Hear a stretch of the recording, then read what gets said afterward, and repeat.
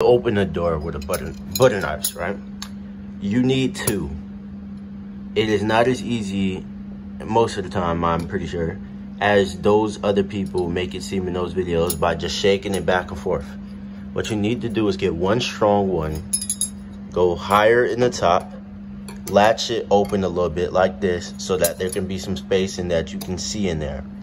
Then you get a second one, then kind of make it like this a little bit, go in there, and then go right where it is, push back this way, and then it should work.